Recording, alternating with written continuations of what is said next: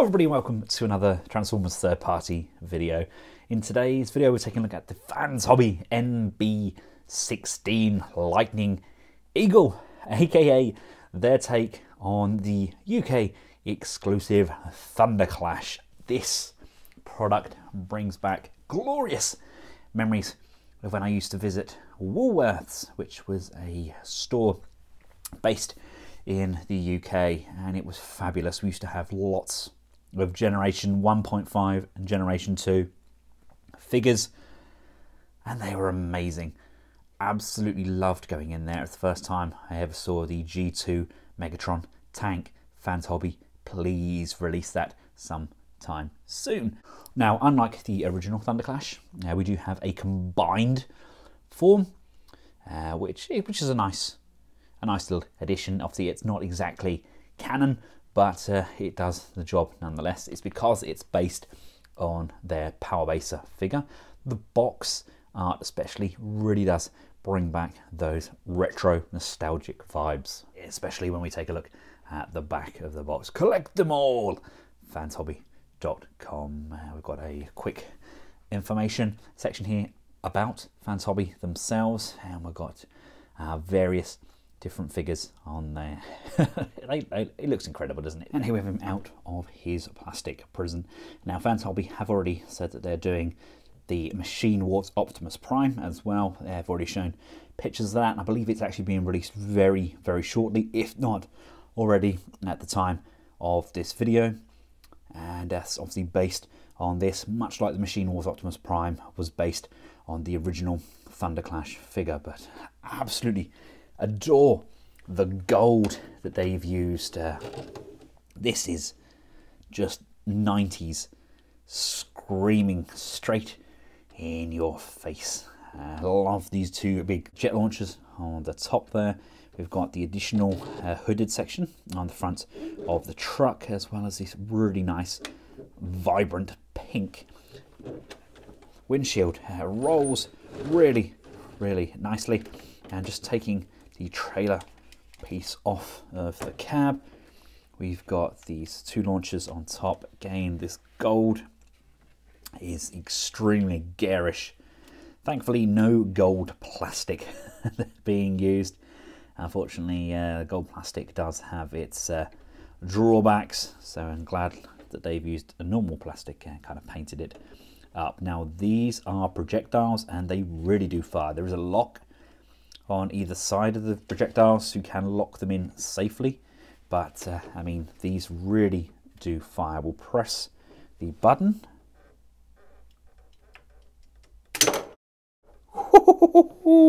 A launch with uh, some true velocity. Uh, we have his gun on the top. Uh, you just slide this peg down and it pegs into the top of that trailer. Nice solid piece. We have a handle which can be brought down so you can wield it as a robot.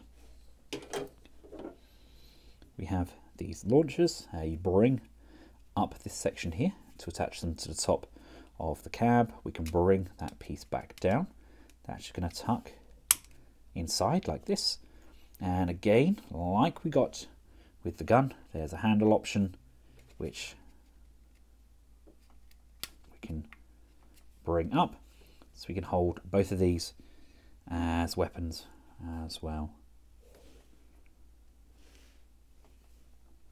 Look at that. Fabulous. Really nice, vibrant truck mode. We've got the smokestacks there in that chrome. And a really gorgeous contrast in colours. I love the insignia on the roof no obvious tempo printing. I know something a lot of fans disliked about some of the earlier Fans Hobby products was the tempo prints. Uh, everything looks to be as it should. Oh, you know what? I really hope we get to see more Turbo Masters as well. I believe that's what these were called back in the day. They were the Turbo Masters. I think around Europe uh, maybe like France, etc., they were called Rocket Masters or something similar along those lines. If this is your first time taking a look at this particular uh, mould from Fans Hobby, just to give you an idea of scale, here he is alongside MP10. It's definitely a masterpiece size product. Uh, I just love that garishness.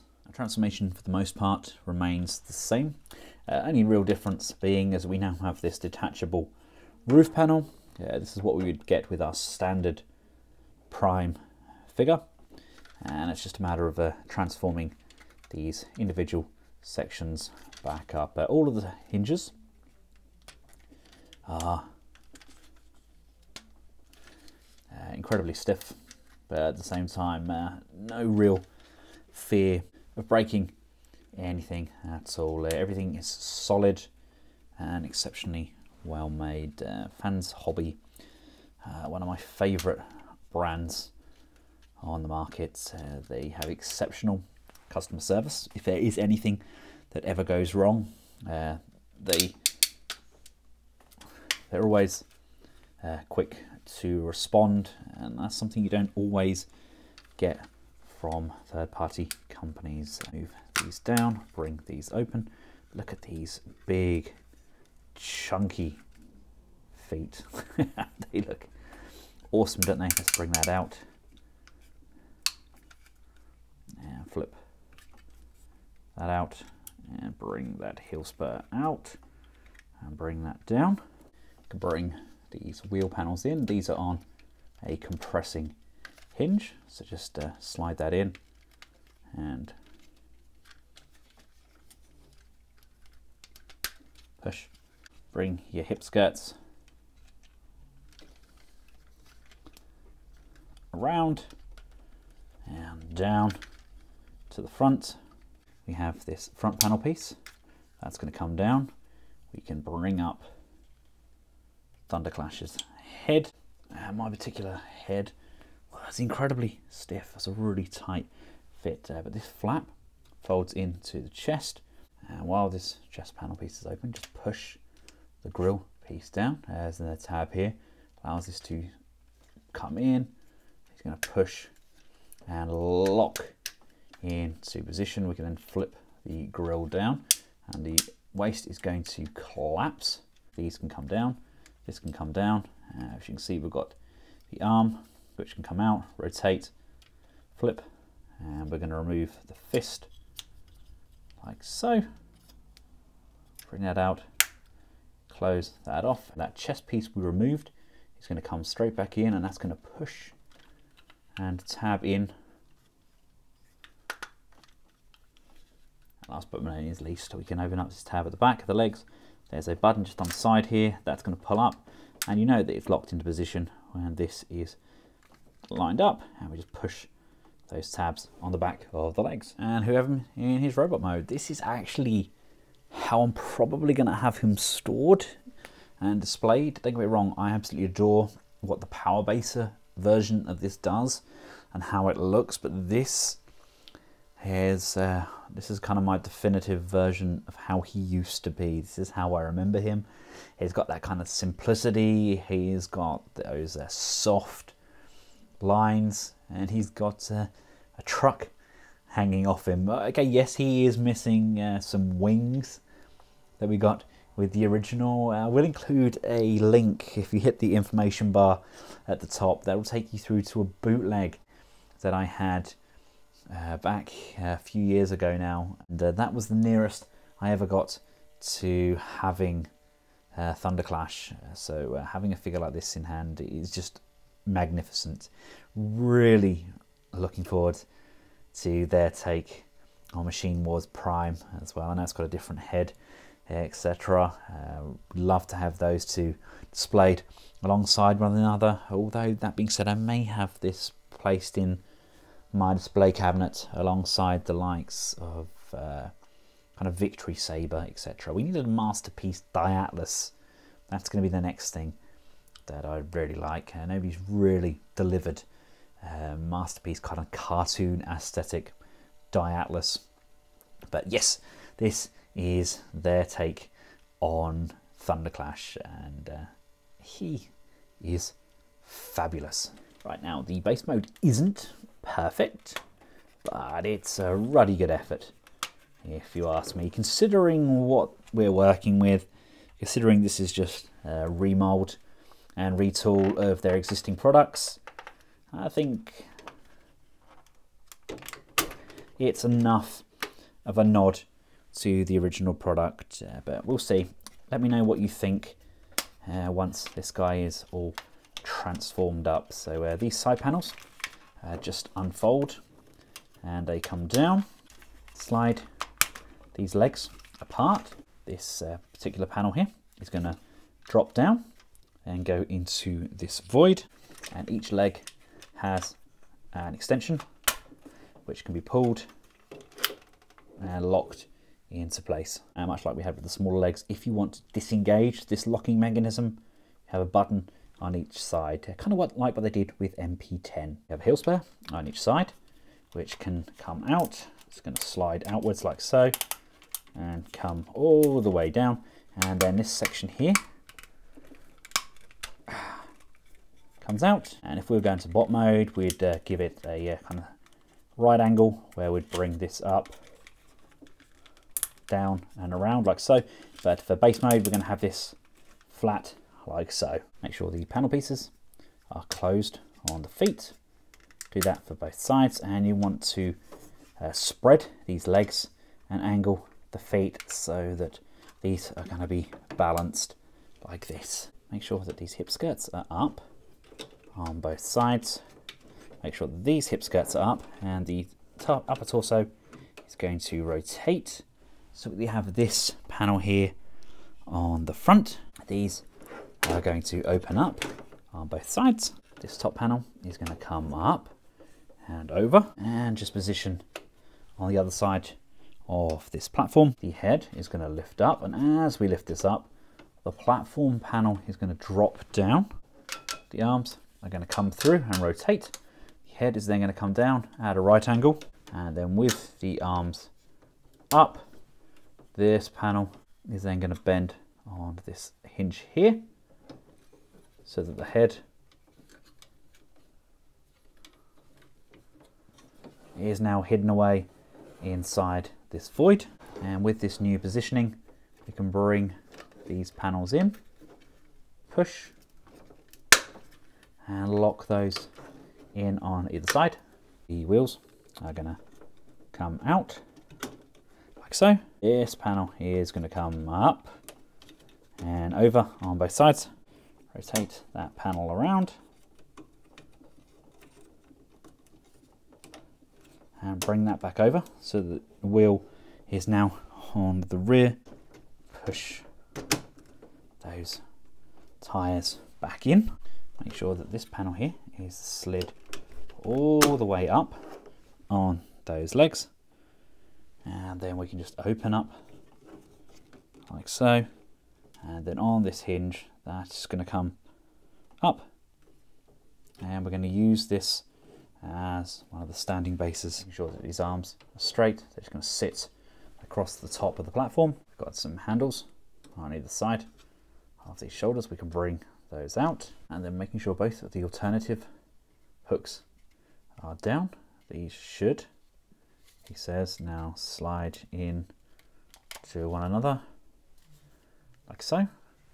These panels here going to lift up and where we've now got these grooves those are going to slide over the grooves on those arms so that we're left with something that looks like that and if you choose there's also room on top here to mount his rifle which I know okay it's not perfect by any means but uh, considering what they used to do uh, with the base formers etc back in G1 uh, we used to have uh, the likes of uh, Master and Hotspot did turn into like a uh, base as well. Uh, I think this this is actually pretty decent.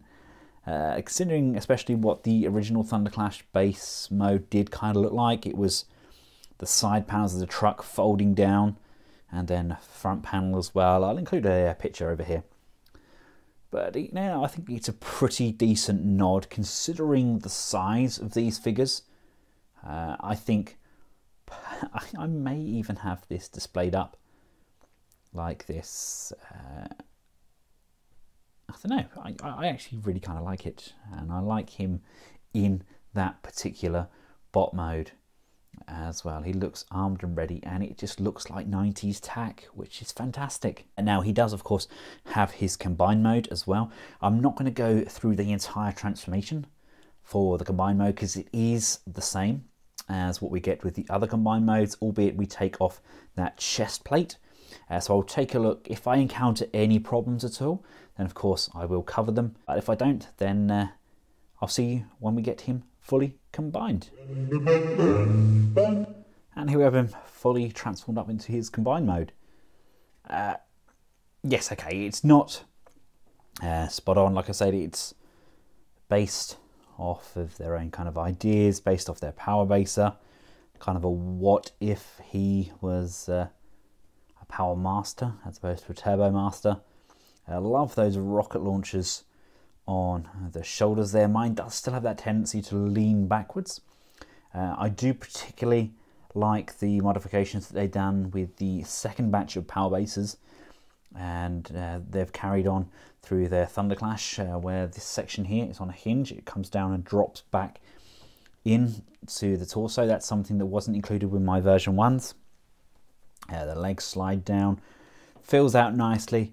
Uh, maybe could have done with a slightly wider or longer foot base just to kind of offset that heavy backpack section. But all in all, he's a good looking base former. And again, getting up close and personal, where we've got uh, parts on this figure that we don't particularly uh, necessarily need. Uh, there's actually storage for his gun on the side as well. We've got that chest shield section. We've got the alternative large head there, a really big foot uh, print there. Uh, may be better for me, I think, uh, possibly if I drop these down and have them like they were in the base mode. That does still give you a very kind of wide. I don't know. I don't know. I think it's just uh, finding something that works. I may not have the uh, chest piece in completely flush because it does seem to be lifting up slightly on the neck. So it suggests to me that I haven't quite slid that down in there properly. Uh, but all in all really nice figure. Do like this curve section kind of slims them down slightly. There we go. That is the base former version of Thunderclash uh, personally I do prefer the smaller version.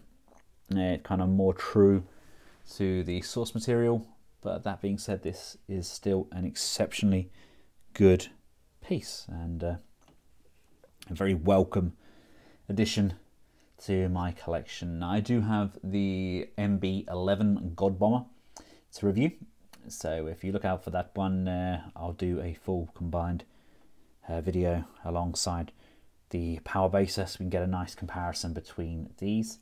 Uh, I will include a link in the description below where I got this over at Fans Hobby. And uh, yeah,